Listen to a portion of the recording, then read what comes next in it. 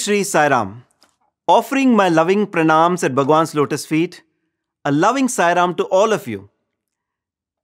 Praying to Swami that he guides my every word and the flow of thoughts, I offer this satsang at his lotus feet.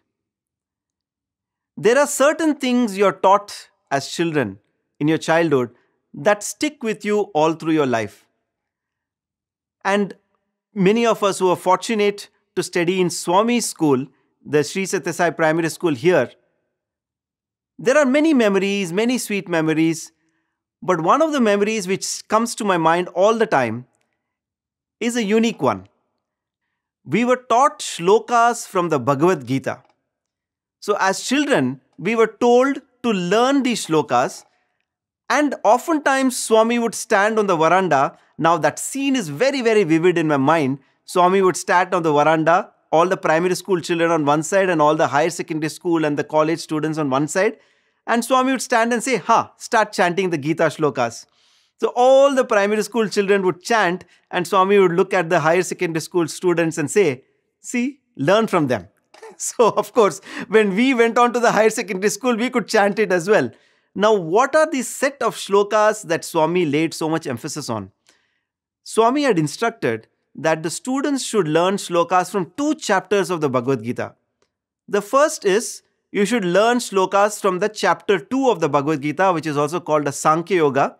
And the second is Bhakti Yoga, which is chapter 12. Not all the shlokas in chapter 2.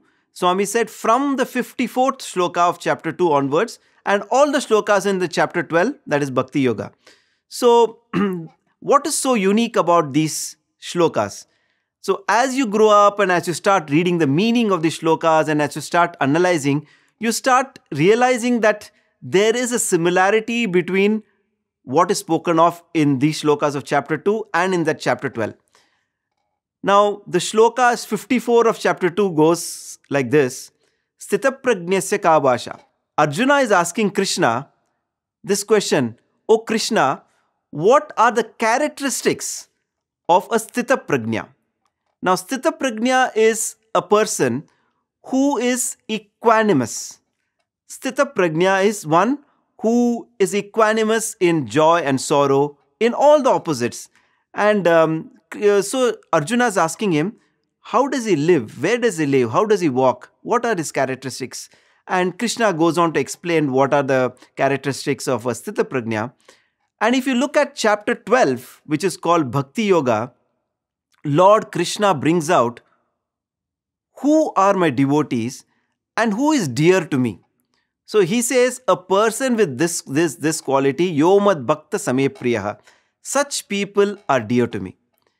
Now there is a hidden similarity between the shlokas in chapter 2 and the shlokas in chapter 12. And um, it would be a very big uh, discussion if we were to go into all the similarities, etc. So, what I thought is in this satsang, I will present to you and we can discuss one shloka from chapter 12. Now, there are two ways of looking at this shloka. The shloka that we would like to take up is Adveshta Sarvabhutanam Maitraha Karuna Evacha Nirmamo Nirahankaraha Sama Dukkha Sukha Kshami. So the shloka is this is the shloka, and here actually it goes on, it continues. This is the 13th shloka of chapter 12, and it continues into the second shloka Santushta Satatam Yogi Yatatman Dridhanishtayaha Mayyar Pitamano Buddhi Yomad Bhakta Same Priyaha. Now, Yomad Bhakta Same Priya is a refrain that comes in many of the shlokas in chapter 12. That means such a person is dear to me. Yomad Bhakta Same Priya. That devotee with these qualities is dear to me. So let us, uh, we will not be taking up both the shlokas. Let us just take up the first shloka that is Adveshta Sarvabhutanam. Now, two approaches to uh, understanding this shloka. One is if you see the qualities that are brought out in this, you can say that a devotee has to develop these qualities in order to get close to the Lord, in order to be dear to the Lord. The other approach is when a person is nearing godhood or a, a perfected person, a sage or a great bhakta, these qualities will be a natural reflection, it will be a part of his nature. So the pers- the devotee has to just be, and people can recognize these qualities in his life. Now, we have the greatest good fortune of having lived with Swami, of having heard Swami, and of having seen how he has led his life here on earth. And what greater example than to take Swami's life itself? So, when Swami says, My life is my message, everything that Swami taught, every aspect that he wanted his devotees to learn and to uh, imbibe, he exemplified those qualities in his own life. And um, so I thought we will use a different approach to understand the shloka, wherein we will take these words from the shloka and try to correlate them with incidents from Swami's life. And we will try to see how Swami exemplified these very qualities. So the first quality is Adveshta Sarvabhutanam. It is Sarva Bhutanam. That means to all beings, do not have hatred, Adveshta. Do not have hatred towards any being, towards all beings. So he is not saying do not have hatred only to human beings. It is to all beings, all living forms. And um, of course, there are very detailed explanations of what is Adveshta, why you should not have hatred towards anybody one can analyze how it is possible to be loving to all when Swami says love all, serve all. Is it possible? Is it practical? And Swami also says in uh, one of his letters in the Premadhara, he says, Where there is love, there is no hatred. So it is almost as if this word hatred is opposite to love. So, um, Adveshta Sarvabhutanam. Now, there is another um, meaning of dvesha. Swami would say raga and dvesha. So, attachment and detachment. Now, as you all know in Sanskrit, each word can have several meanings. And uh, we are not going to get into all those details here. But as I mentioned before, we'll try to take certain examples from Swami's life and we'll try to see how he exemplified these qualities. So the first one, Adveshta Sarvabhutanam. I am reminded of a beautiful incident which happened in Kodaikanal uh, in the year 1999. Now, this was the first morning we were with Swami in the, um, uh, in the first floor of the mandir.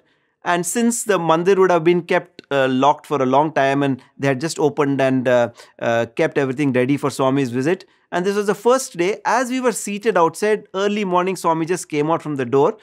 And uh, we all were obviously looking at Swami, and suddenly Swami pointed something on the wall. And so all of us turned back and we saw that there was a cockroach going there. And Swami said, See, see, see, that's a cockroach. and so all of us were looking at the cockroach. And then Swami said, um, Poor thing, let it go. You know what these, these people did? In my room, the moment I entered, I saw all these white, white lines everywhere. And so I asked them, What are these white lines? And they said, Swami, it is Lakshman Rekha. So, Lakshman Rekha is a poison um, which is used to kill these uh, cockroaches, lizards, and to drive them away. And so, in order to, you know, keep Swami's room safe, these people had drawn this Lakshman Rekha lines in his room. And Swami said, Poor thing, they're not harming in any way. Why should you kill them? I don't like to see them struggling. I don't like to see them suffering.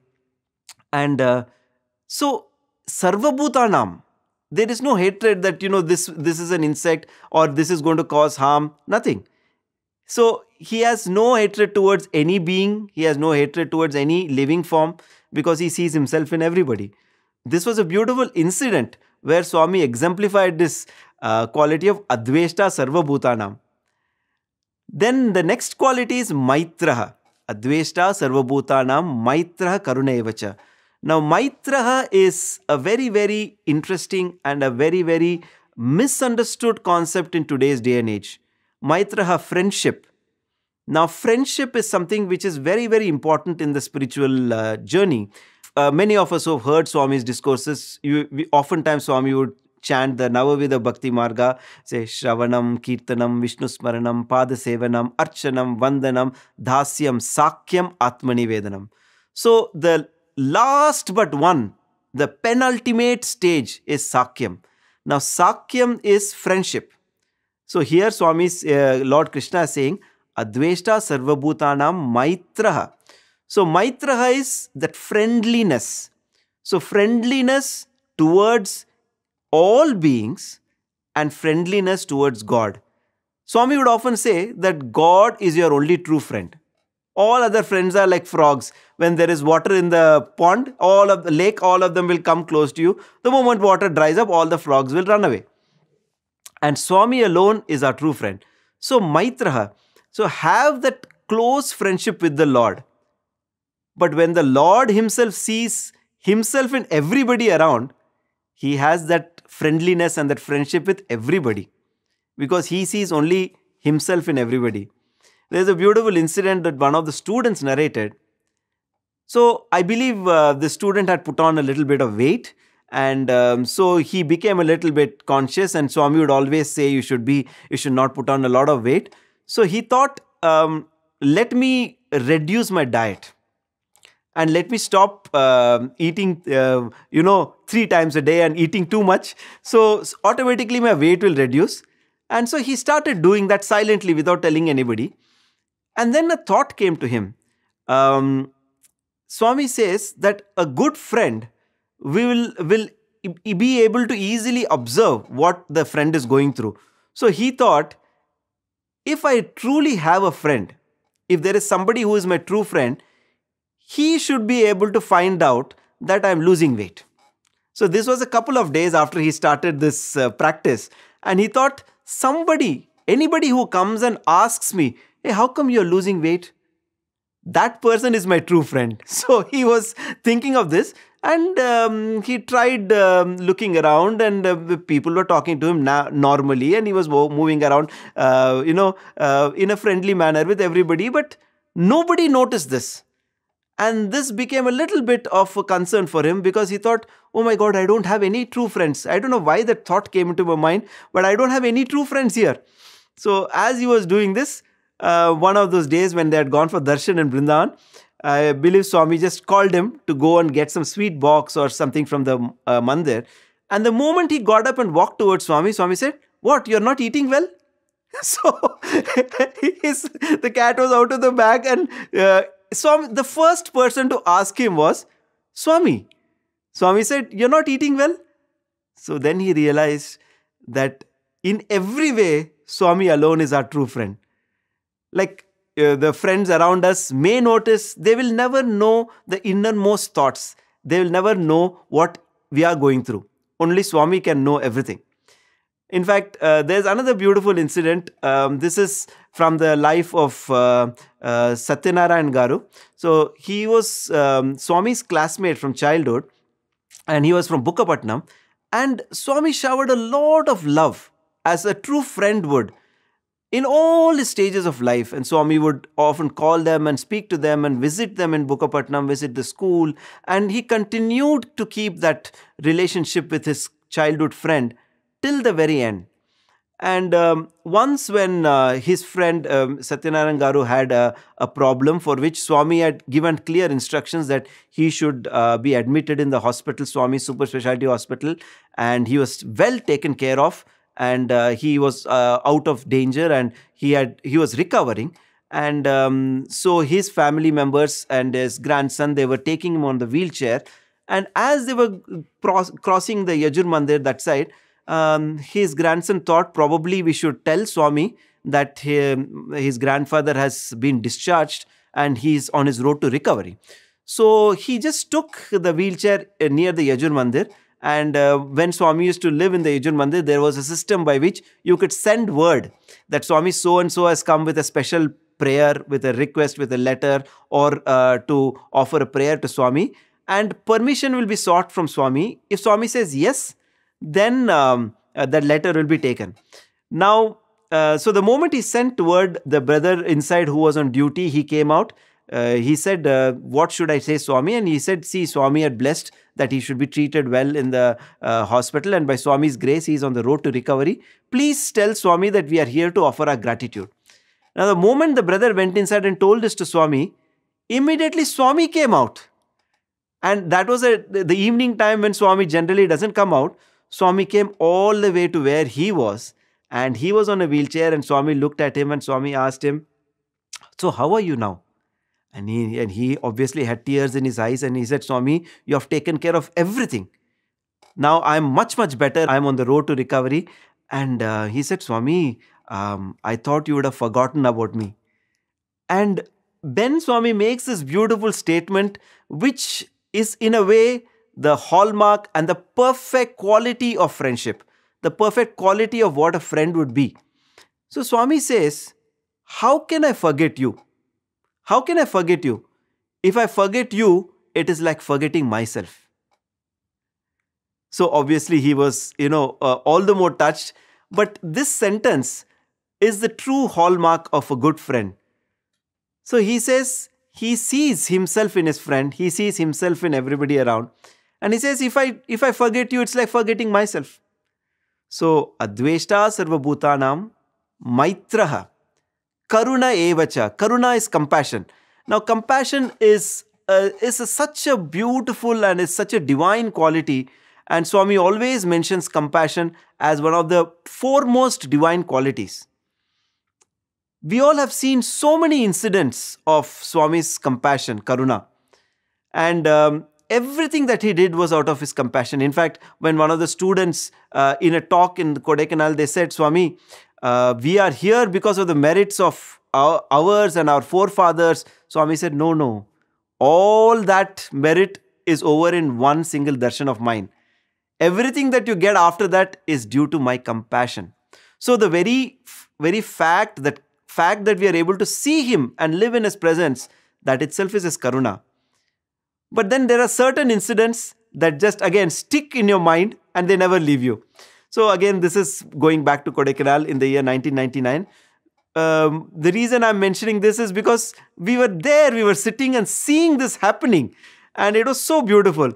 So what Swami was doing is one uh, afternoon, Swami was sitting, and um, three uh, covers were brought to him, and he said, "Ah, open, open the first one." Like it was uh, like the most important activity about to happen and um, Swami was like fully prepared for it, and everybody was wondering what it is.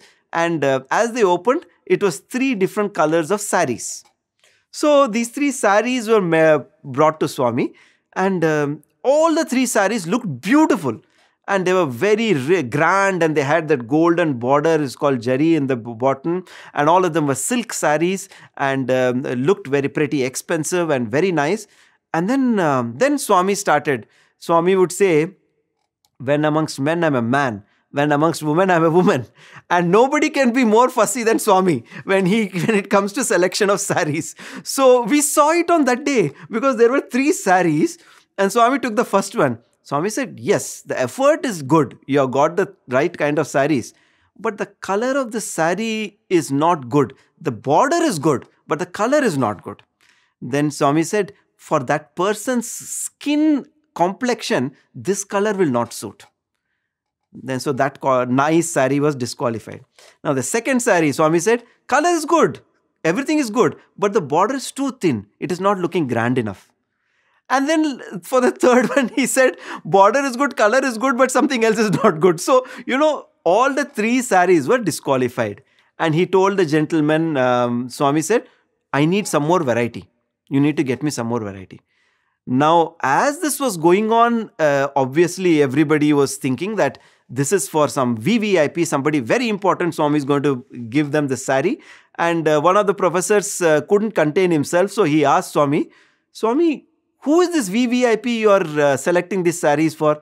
So much of effort and so much of you know due diligence you're going into every single detail and trying to pick out the best sari. Who is it for, if I may ask? And then Swami said, What do you think? That lady who is sitting right behind the kitchen and cleaning all our vessels every day, this is the sari I'm selecting for her. And all of us were absolutely moved. And uh, Swami said, see, she does her work silently. So I want to give her something very special.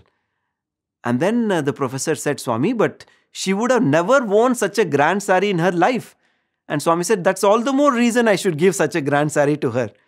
He said, She will have so many festivals and functions in her home. And every time she puts on this sari, she'll be so happy that Swami has given this to her. So that is why Swami is spending so much time in selecting the right sari for giving it to her. If this is not compassion, if this is not such a beautiful, uh, uh, you know, quality of compassion, where yes, you are giving something to somebody who is in need of something, but that is not the spirit with which Swami is giving. Compassion is what he would have given to himself, what he would have given to his own people. So when it comes to that compassion, again, this beautiful quality of, you know, treating everybody alike, that also comes in. So, Adveshta Sarvabhutanam Maitraha Karuna Evacha Nirmamo this is the next quality. And this is a very interesting quality, nirmamo. Nirmamo is do not have that mamatvam, that this is mine, this is mine, this is mine. Do not have that mamatvam with everything.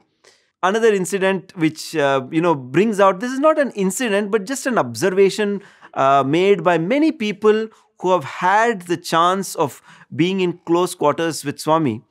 Um, for people uh, who have come to Swami in the 50s and 60s and even much later, you know that Swami used to be residing in the mandir itself, right above where the interview room is.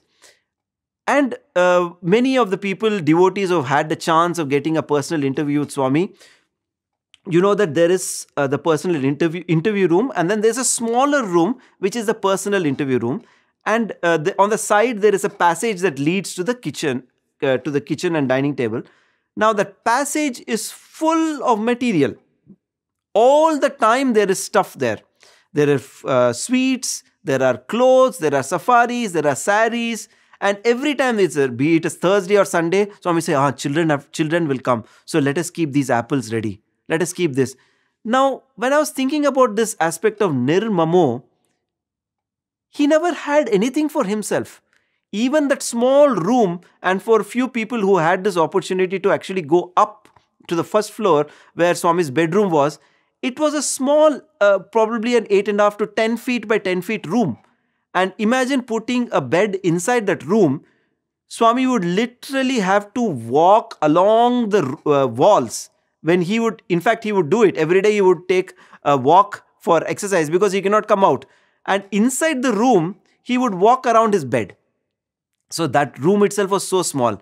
And the room which was outside, which was slightly bigger like a, a veranda, half the time it is full of stuff. It was full of uh, either safaris or saris or apples or fruits or special diaries which he would want, would want to give to the primary school children. I remember some beautiful magnetic diaries that he would send and uh, so many things. So many things kept. So nirmamo, he didn't even have a room in which he was, you know, which he could stay comfortably. Even that he used it for others' sake. This is one aspect of nirmamo, and the other aspect which comes to mind is um, post Mahasamadhi, when there was this discussion and there was this press conference. One of the trustees brought out this point very beautifully. He said, What are you talking about, Swami? Can we even um, dare to speak about his sacrifice? Can we even dare to speak about him? Because look at him. He has led his entire life without even having a bank account to his name. So, I mean, everybody, the first thing we would want is to have a bank account at least. And here is Swami who, Nirmamo, he had no account on his name at all. Whatever came is part of the trust. And his own room is for his devotees. So, this is something which is uh, so amazing talking about um, this uh, trip 1999 uh, in Kodaikanal, the first day that uh, we were there early in the morning, as he came out from the door, he just, uh, you know, parted the curtain a little bit. And from there, he was seeing the gate of Sai Shruti. And he said, See, people are already gathered. People are already waiting for darshan. His time is not his. Nothing is his. It's always for his devotees, for his students. All the time he's concerned about his devotees. All the time he's concerned about his students. Isn't this so exemplary? And this is how he exemplified this quality of nirmamo. Nirahankaraha. I mean, he is the Lord of the universe. He has all the power in his hands. But the way he moved around, even a primary school kid could be could relate to him. So when he would come down to our level and he would ask, ah, "What is the breakfast you had?" and uh, "What was the uh, Swami idli?" So, I mean, anybody who is asking a question for the sake of asking would say, "Okay, you had idli for breakfast," but that is not what Swami is asking for. So he would say, "How many idlis?" Then they will say, Swami, three idlis, four idlis, and uh, in later years, probably more number of idlis. But then Swami said, What is the size of the idli? So, how many idlis? What is the size of the idli? So, all these details Swami would ask because he would come down to the level of the children. Nirahankaraha. There is no pride. There is absolutely, there, means pride comes when you feel that you are better than others. Pride comes for Swami, it is like he sees himself in everybody. So there is absolutely no pride. I mean, he's controlling the entire universe. What he, if he wants to be uh, egoistic, uh, who can stand up to that? I mean, but nirahankara, there is absolutely no ahankara, no ego. And um, another beautiful incident which comes to mind in um, uh, this happened in Brindavan. Uh, this was narrated by one of the senior brothers, and um, so he was narrating that um, in Brindavan, there was a VVIP uh, about to come, probably Prime Minister or President was supposed to come there. And uh, the person was uh, about to reach the mandir in about half an hour's time. And Swami was just going around in the ground floor and checking if everything is arranged and everything was ready for the uh, minister to come. And um, then he walked into the uh, one of the rooms and he said, "This dining table is right in the center here, and it is occupying a lot of space." Can we not push it to a side? We can just push it to a side little bit so that there is more walking space for the people when they come. And you know, when the minister comes, there will be his whole uh, security uh, protocol and other things. So uh, the student who was there with Swami at that time, he said, Yes, Swami, uh, we, we can move it to the side. And then he was just waiting for Swami to go out from the room so that he would quickly run and bring in a couple of boys and with their help move the table. Then Swami looked at him and said, What are you waiting for? He said, Swami, I, I'll just call somebody. Swami said, Why? You are here, I am here. Let us move the table. so both of them held the table and then they moved, moved it to a side. Absolutely, um, you know, there is there is no sense of ego at all. He is in the moment all the time. He's one with the situation. He just goes with what is required for every particular situation. I mean, just think of Swami in the summer course standing on the platform and talking about Atma, I am that, and uh, talking about the greatest philosophies and the Upanishads. And then the moment he would come down from there, he would ask, So, did you all get mangoes? Show me your mangoes and go for lunch. So, you know, there's absolutely, is this the same Bhagwan who stood on the platform? He just mixes with all of us. There is no sense of ego, and that is something which is very, very important.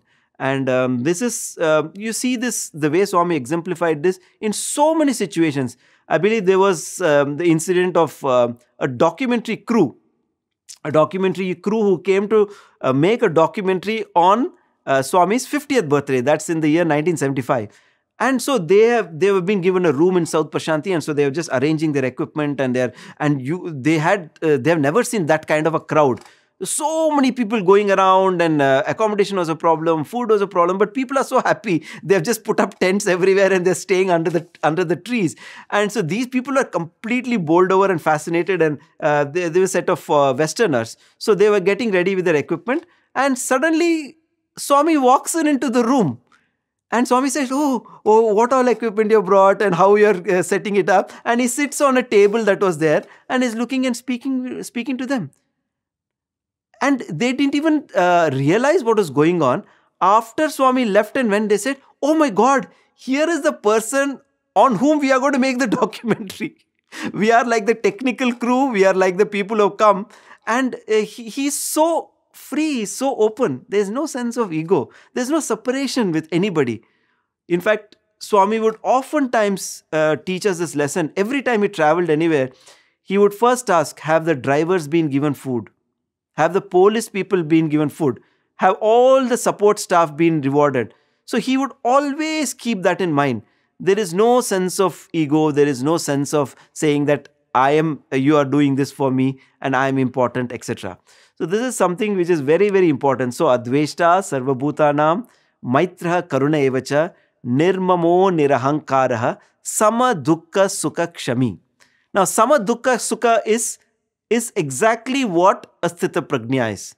A Prajna is one who is equanimous in happiness and sorrow. Sama Dukkha Sukha. Now, for all of us, one of the most, um, uh, you know, um, sad times of our lives, it is inevitable, but what we really feel sad about is when one of our parents pass away. So it is inevitable in everybody's life, but how you react to such a situation. Now, Swami's physical uh, mother and father, they also passed away. And um, it is a very sad moment. But Swami was completely equanimous.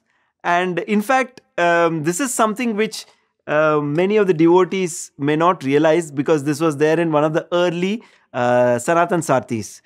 The article that uh, I want to actually read out about is a letter which Swami wrote on that occasion. So, Swami's father uh, passed away on uh, 4th of November 1963. And in the November issue of the Sanatan Sarthi, Swami actually wrote a letter. And um, I would I would actually read out this letter because this is so beautiful. And even at that point where um, it is very sad, the whole village was sad and everybody is sad, but Swami is completely, uh, you know, equanimous. He's absolutely equanimous. There is no change in his uh, attitude and in his um, activities as well. So the letter is titled like this To all who sent letters of condolence. Swami says, Prema Swarupulara, when the limited self, the father of this manifestation, threw off his disguise, thousands are writing to me expressing sympathy and sadness and praying for peace for his soul. This is perhaps the way of the world, but to me it appears quite strange. When the sum of years one has earned is spent, all have to give up the body and quit. This is an inescapable fact. He too followed that law. Why become sad just for this? It is against nature to become sad when the expected happens. What is originated has to degenerate. You are born to die, you die to be born again. This is a meaningless statement. You are born so that you may avoid further birth. You die in order to overcome death. How significant these lines are. He says, You are born so that you may avoid further birth. You die in order to overcome death. This important fact has to be borne in mind by all. As apparel is to the body, so the body is to the embodied self. All sadness is the result of ignorance of this truth. I have never the least connection with untruth. The physical relationship is untrue and ephemeral. Only the Atmic relationship is true, permanent, and pure. That is the one relationship that exists between me and you all. That can never be modified. That can never be given up. Thousands liberate themselves from the physical limitation. You see all this and you hear of more, but yet you express sadness and send condolences without understanding the truth. That is what disturbs me. Nothing else can disturb me. No, nothing. So he says, the only thing that disturbs me is the fact that you're sending con- condolences. You're not understanding the truth between life and death. Next, you pray that his soul may have peace. This is stranger still. When the basic character of the soul is peace, how can it be gained? How can it be given? The Swarupa is Atma, the Swabhava is peace. The two are inseparable. Well, you say that he was a blessed soul since he passed away in the fullness of years without falling helplessly ill and in the full possession of memory and consciousness. But these are mere signs and pointers. He was a blessed soul, not just on the occasion of this one day, the day he became the father of this manifestation, the day this manifestation became his son, that very day he became blessed. His life was rendered holy and sanctified. Remember this fortune comes only to some one individual in an entire age. It is beyond the reach of all. It is the good name one has earned that will survive forever, whoever he may be and however long he may live. the rest evaporates into thin air. Therefore, so long as life lasts, do good deeds, cultivate good qualities, be good with people, and develop good conduct, and finally give up the breath in the thought of God. That gives meaning to life. So give up worrying about the limitation that is cast away. Learn to dwell on Umapati when the disguise is discarded. Sri Sathya Sai Baba. Now, this is the letter that Swami gave it to Mr. Uh, Kasturi, sir, who was the um, editor of Sanatan Sarthi, and said, Publish this in Sanatan Sarthi. Let everybody know how Swami is reacting to this particular event of the demise of his father. So, through this particular incident, Swami shows us Sama Dukkha Sukha.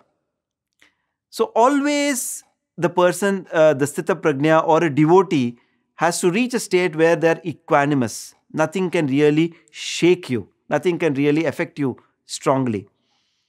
And uh, the last quality is Shami, forgiveness.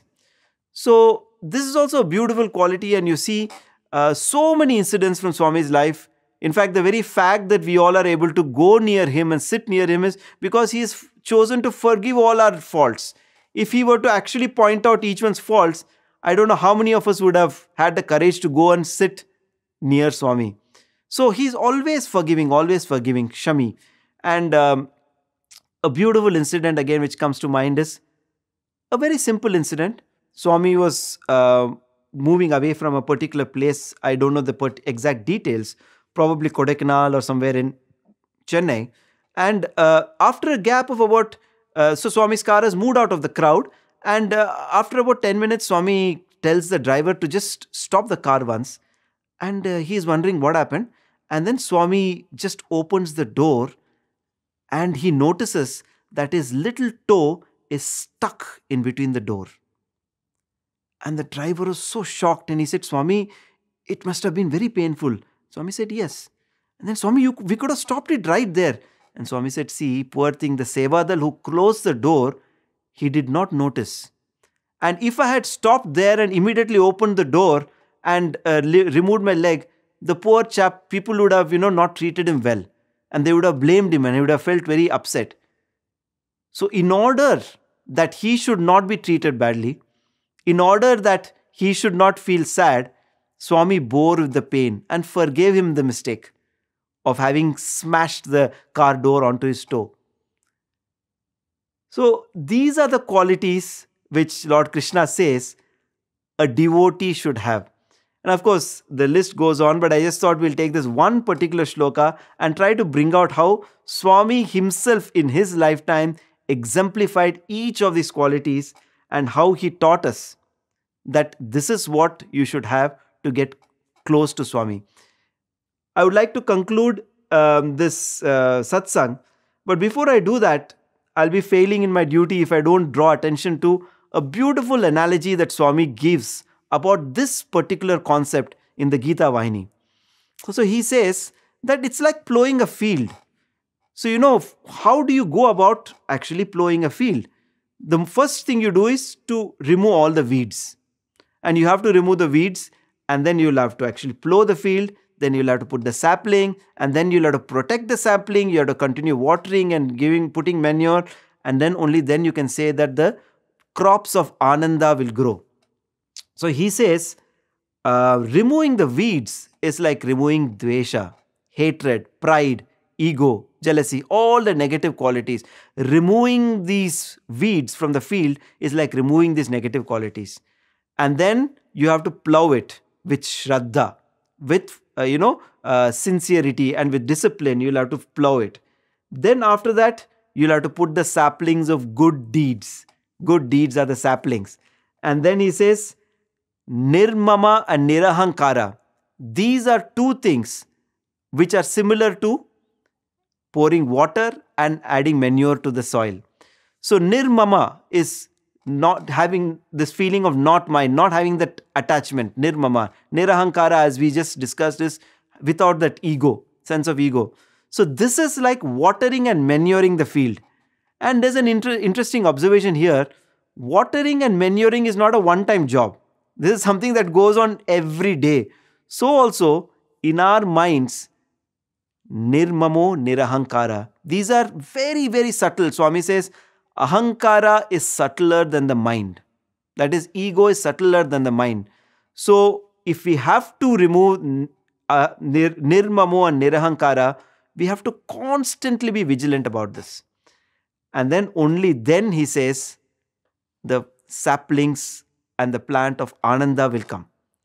So, this is a beautiful analogy in the 22nd chapter of Gita Vahini, and all of you should read that, and that will give a beautiful context to this entire shloka. And um, before I conclude, again, this morning there was a beautiful Sai Inspires which came, that is the 25th of October. Um, a beautiful Sai Inspires which um, I'm not reading out the entire uh, Sai Inspires message, but one portion of it where he says, Once a student approached a guru and asked for the path of Shanti. The guru replied that he must develop sahana or tolerance towards all men, all things, and all events. Then Swami says something very beautiful. He said, Nothing should arouse an interested reaction, disgust, or desire. The highest alone must be sought. God alone must be desired. Prema, steady, unchanging, undiminishable, can only be love towards the Lord of all the worlds. Changing love is love towards the changing world. So ultimately, it is love. And once you have complete love, these qualities that we have spoken about automatically manifest in you and you embody these qualities. The path is the goal and the goal is the path. So, if you want to reach the goal of becoming close to the Lord, you can start with developing these qualities. So, it works both the ways. And the pure definition of who a devotee is and how to become dear to the Lord is very beautifully elucidated in the 12th chapter, the Bhakti Yoga of the Bhagavad Gita. And um, Krishna brought out these highest truths in these 700 shlokas. And Swami has elaborated these shlokas. Swami has spoken so much about these shlokas and these concepts in all the discourses that he has given.